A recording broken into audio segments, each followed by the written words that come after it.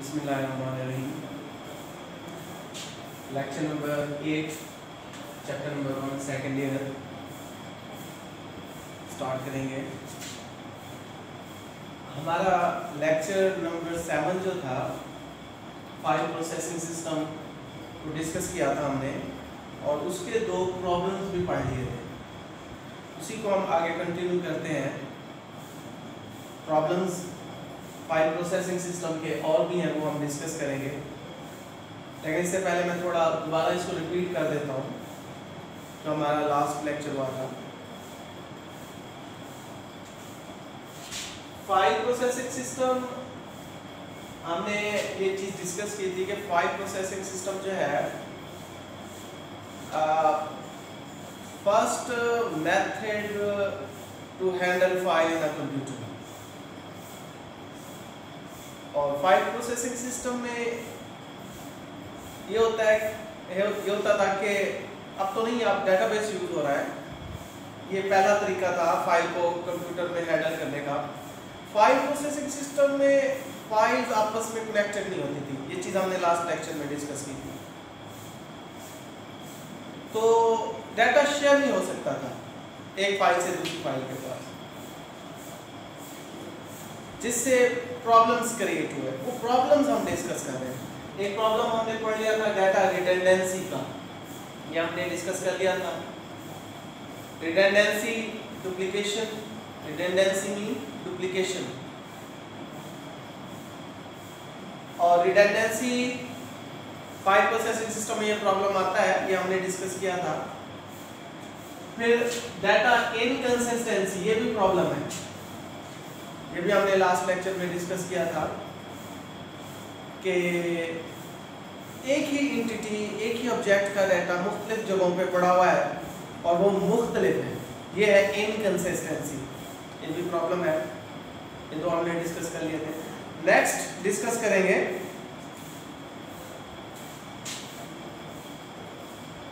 wrong data dependency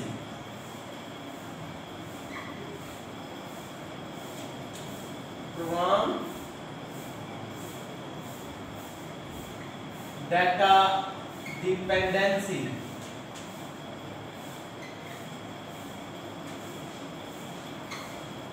ये भी problem है प्रॉब्लम है सॉरी ये भी प्रॉब्लम है फ्रॉम डाटा डिपेंडेंसी ये प्रॉब्लम है. प्रॉब्लम डिस्कस हो रहे हैं फ़ाइल प्रोसेसिंग सिस्टम के. देखिए, दो चीज़ें होती हैं प्रोग्राम्स और डाटा ये कंप्यूटर पे काम कर रहे होते हैं. और ये दो मुख्तलिफ़ चीज़ें हैं। पहले मैं इसको डिस्कस करूँगा। इनका फ़र्क भी बताता हूँ। कंप्यूटर के अंदर जो सॉफ्टवेयर होते हैं, उनको हम प्रोग्राम कहते हैं। और जो चीज़ स्क्रीन के सामने हमें दिख रही होती है, वो डाटा है। अब ये दोनों चीज़ें इकट्ठे काम करती हैं। ऐसे भी कह सकते हैं कि जो डाटा होता है, वो फ्रंट एंड होता है मतलब जो सामने है। और जो प्रोग्राम्स होते हैं, वो बैक एंड होते हैं मतलब पीछे होते हैं, वो नज़र नहीं आ रहे होते हैं। प्रोग्राम्स ही डाटा को चलाते हैं। प्रोग्राम ही डाटा को चलाते हैं। डाटे को रन करना है डाटे के अंदर डाटे का फॉर्मेट चेंज करना है। मतलब डाटे में कोई भी डाटे पे जो वर्किंग होती है, वो प्रोग्राम कर रहा होता है। Program also known as software program backend पे होते हैं डाटा फ्रंट एंड पे होता है। मतलब सामने हमें नज़र आ रहा होता है। अब ये दोनों एक दूसरे पे डिपेंड करते हैं। डिपेंडेंसी डिपेंड इनहसार करते हैं। और ये प्रॉब्लम है। डिपेंडेंसी दोनों के दरमियान डिपेंडेंसी प्रॉब्लम है। कैसे? देखें, अगर डाटे में अगर हमें कोई चेंजिंग करनी पड़ भी जाए तो फिर हमें प्रोग्राम में भी चेंजिंग करनी पड़ेगी, क्योंकि प्रोग्राम किस पे डिपेंड कर रहा है? डाटे पे। अगर प्रोग्राम में चेंजिंग करेंगे तो फिर ऑटोमेटिकली डाटा में भी चेंजिंग करनी पड़ेगी, क्योंकि डाटा किस पे डिपेंड कर रहा है? प्रोग्राम पे। ये मसला है।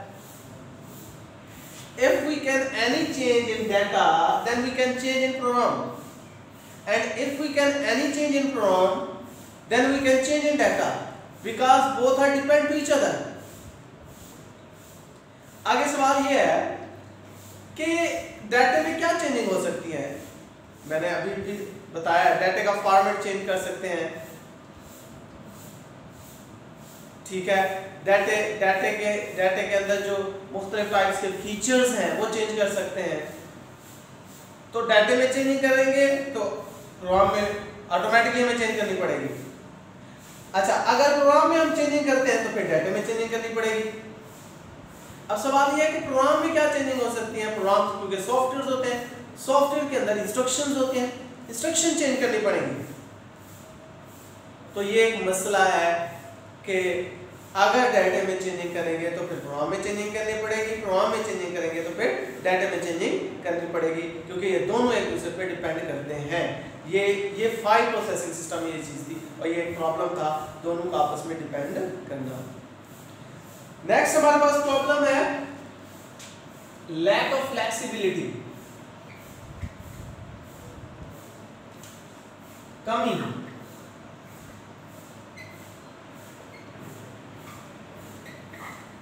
फ्लेक्सिबिलिटी की कमी होती है। फ़ाइल प्रोसेसिंग सिस्टम इतना फ्लेक्सिबल नहीं है हमारे लिए। आरामदेह कह सकते हैं या अच्छा कह सकते हैं, पुरसकून कह सकते हैं, लचकदार कह सकते हैं मतलब आसान लैक कमी। फ़ाइल प्रोसेसिंग सिस्टम हमारे लिए इतना पुरसकूनियत नहीं है, आसान नहीं है फ्लेक्सिबल नहीं है। क्योंकि मैंने स्टार्ट में लास्ट लेक्चर में ये चीज़ बताई थी कि फ़ाइल प्रोसेसिंग सिस्टम में फाइल्स आपस में कनेक्ट नहीं होती।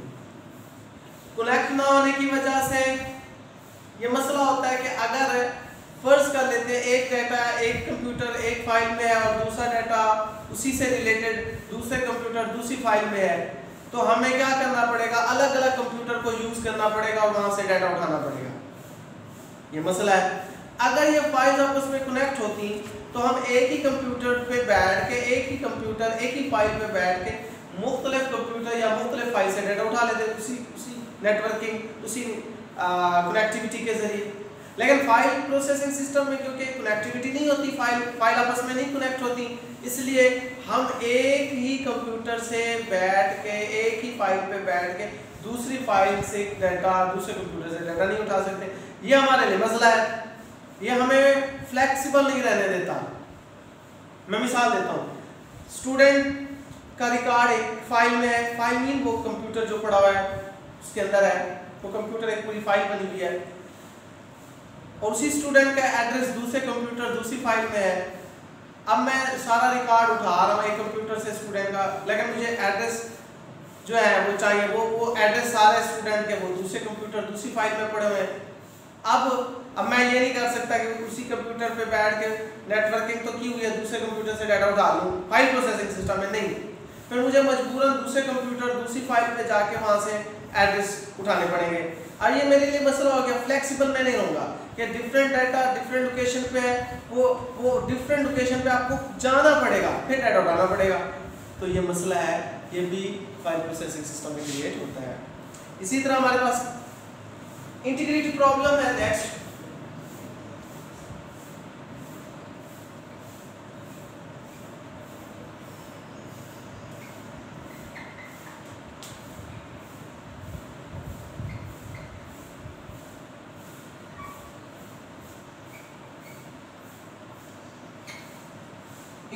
प्रॉब्लम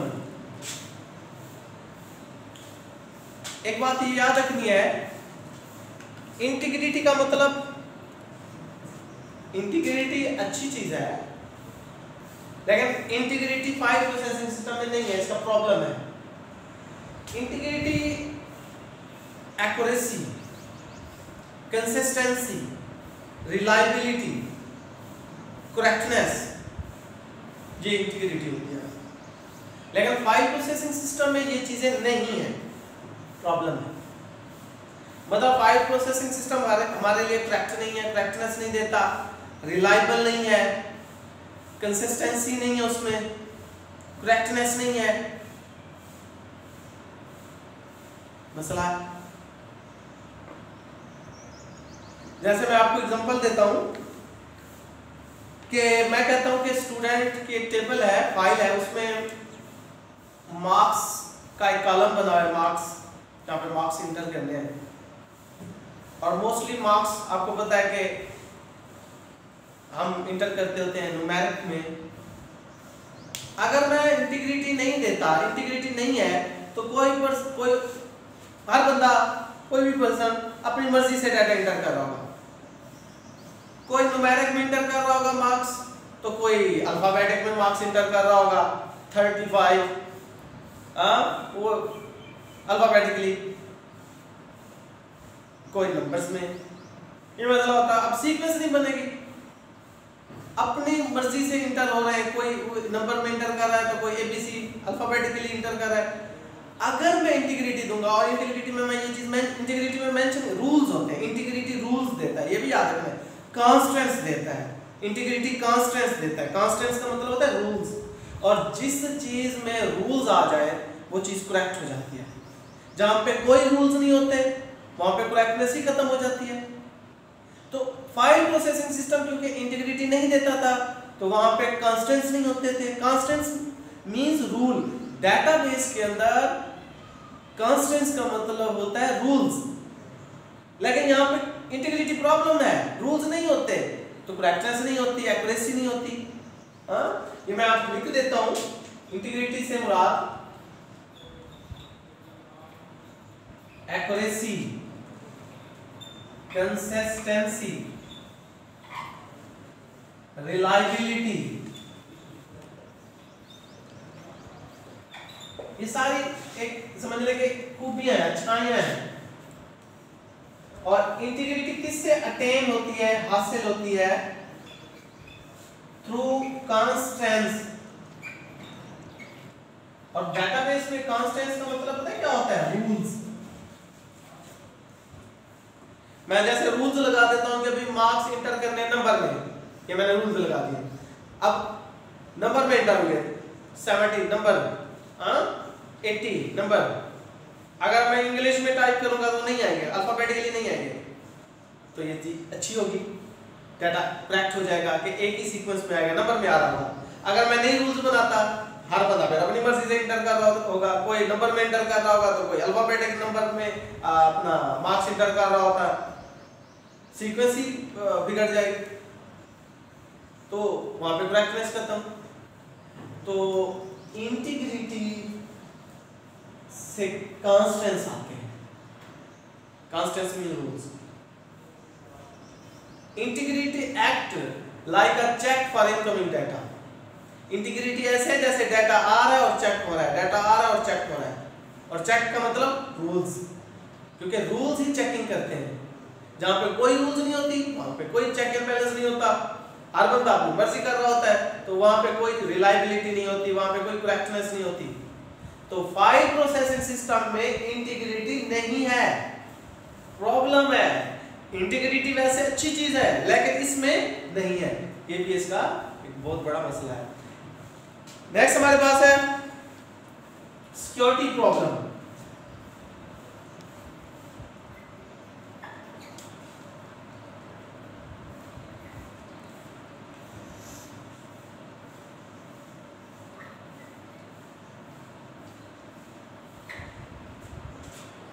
सिक्योरिटी का तो आपको पता होगा security mean protection security mean protection ये चीज़ फ़र्स्ट ईयर में भी हमने डिस्कस की थी, हिफाजत. सिक्योरिटी मीन प्रोटेक्शन हिफाजत. और प्रोटेक्शन किसकी की जाती है? डाटा की. फ़ाइल प्रोसेसिंग सिस्टम में सिक्योरिटी का प्रॉब्लम है प्रॉब्लम लिखना है. मतलब फ़ाइल प्रोसेसिंग सिस्टम में डाटा प्रोटेक्ट नहीं होता सिक्योर नहीं होता. फ़ाइल प्रोसेसिंग सिस्टम में सिक्योरिटी का मसला है। अनऑथोराइज और सिक्योरिटी में क्या होता है? प्रोटेक्शन करना। प्रोटेक्शन किसकी करते हैं? डाटे की। किसके अगेंस्ट करते हैं?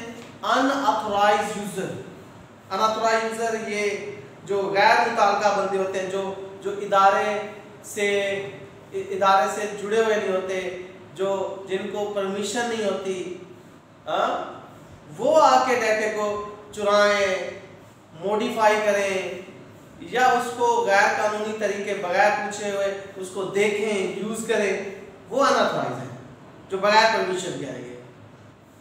तो अनऑथराइज यूज़र से डेटे की हिफाजत करना ये सिक्योरिटी अब मैं आपको मिसाल देता हूँ, ये मिसाल आपकी बुक में भी है, देख लेनी है आपने।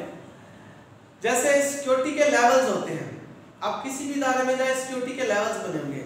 एक डाटा एंट्री ऑपरेटर बैठा हुआ है, उसका क्या काम है? डाटा इंटर करना। और कोई काम नहीं है। डाटा इंटर करना। अब एक मैनेजर बैठा हुआ है, उसका काम मैनेजमेंट का है। वो जो उसको मैनेजमेंट में आएगी चीज़ें, वो करेगा। अब हर बंदे का, देखें, एक काम डिस्ट्रीब्यूट किया गया है। अब मैनेजर ये नहीं कर सकता, ना ही उसको ये इजाज़त है कि वो डाटा एंट्री ऑपरेटर के कंप्यूटर पे या उसके रिकॉर्ड को छेड़े, देखे। हालाँकि एक इदारे में है फिर भी इजाज़त नहीं है। और ना ही डाटा एंट्री ऑपरेटर को इजाज़त है कि वो मैनेजर के कंप्यूटर के आ, को यूज़ करे उसके रिकॉर्ड को देखे। आ, उसको इजाज़त नहीं है। एक लेवल बनाया जाता है। ये हालाँकि एक ही इदारे में रह रहे हैं। तो ये सिक्योरिटी है क्योंकि उसका अपना रिकॉर्ड है वो वो अलग है उसको एक रिस्पॉन्सिबिलिटी दी गई है दूसरे को अलग। एक दोनों के एक एक दूसरे के वो दोनों अपने रिकॉर्ड, एक दूसरे के रिकॉर्ड को वो चेक नहीं कर सकते, बगैर एक दूसरे की इजाज़त के। तो यहाँ, ये सिक्योरिटी है। सिक्योरिटी एक इदारे के लिए बहुत ज़रूरी होती है। इदारे ने जो रिस्पॉन्सिबिलिटी दी हुई है हर एक यूज़र को, वो उसी यूज़र के उसी यूज़र के ऊपर है। वो उसी ने ही करनी है। ये नहीं कि वो दूसरा उसको करे। अगर दूसरा पर्सन कोई उस डाटे को खराब कर देता है या कुछ उसमें गड़बड़ हो जाती है तो वो उससे नहीं पूछा जाएगा। वो पूछा उससे जाएगा जिसको रिस्पॉन्सिबिलिटी दी, दी जाती है। अब वो उसकी मर्ज़ी है कि वो दूसरे पर्सन को अपने इदारे के दूसरे पर्सन को इजाज़त दे या ना दे। तो सिक्योरिटी बहुत ज़रूरी होती है किसी भी सिस्टम के अंदर। सिक्योरिटी से मतलब प्रोटेक्शन होती है कि दूसरे किसी भी बंदे से अपने डाटे को बचा के रखना। लेकिन ये फ़ाइल प्रोसेसिंग सिस्टम के अंदर सिक्योरिटी का मसला है। मतलब फ़ाइल प्रोसेसिंग सिस्टम में डाटा सिक्योर नहीं होता। तो ये हमारा आज का टॉपिक था। ये प्रॉब्लम थे सारे। ये खत्म हो गए हैं पूरा टॉपिक दो लेक्चर में ये टॉपिक मैंने खत्म किया। आधा जो क्वेश्चन था पहले लेक्चर हमारा सातवां था। और बाकी जो थे वो प्रॉब्लम जो थे वो आगे आठवें लेक्चर में हमने इसको कंप्लीट किए नेक्स्ट पे इंशाल्लाह